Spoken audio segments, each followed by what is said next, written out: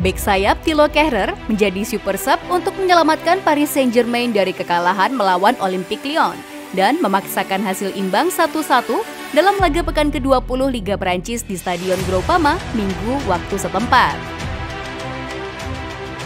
Kehrer yang baru masuk pada menit ke-69 mencetak gol 7 menit kemudian untuk menghapuskan keunggulan yang dimiliki Lyon sejak gol Lukas Paqueta pada menit ke-7.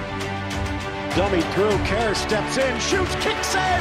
No, it's off the feet, and Kerr has tied it just as the... Gol Kehrer itu sekaligus menjaga catatan Nirkala PSG yang sudah berlangsung dalam 11 pertandingan terakhir, meski mereka hanya empat kali meraih hasil imbang dalam lima laga terkini.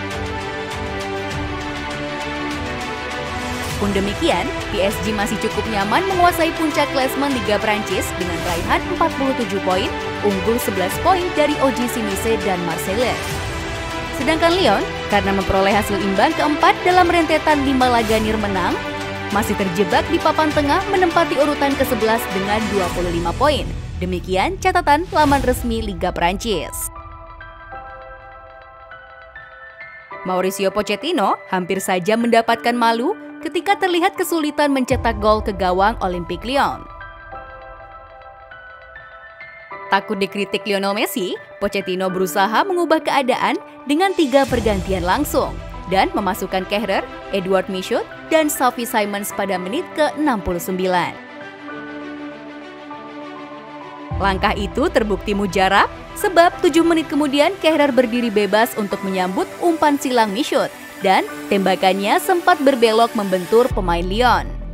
Hal tersebut tentu saja membuat Lopez terkecoh ketika bola bersarang ke gawang dan membuat keadaan imbang satu-satu.